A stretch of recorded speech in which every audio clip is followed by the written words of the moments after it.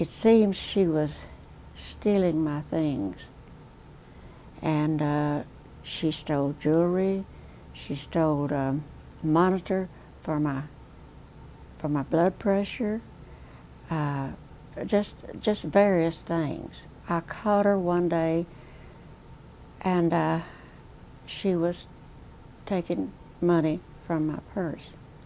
I was afraid to say anything to her because we were here alone.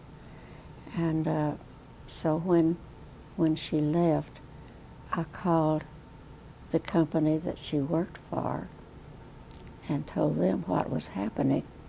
And then I called the police. I was, uh, I was surprised. I was hurt. I was angry.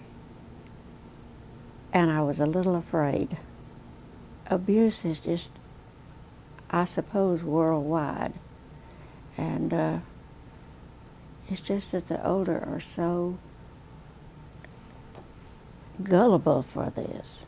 I have always trusted people. I have trusted everybody until I know better. But it has made me a little afraid. I, I'm afraid to trust someone too much. Help, somebody help us. because this is, I know that there are a lot of people who who are not as agile as I am. Uh, and they they really don't know how to cope with these people. So I don't have any advice for them, but I but I sure hope that we can get some help with this.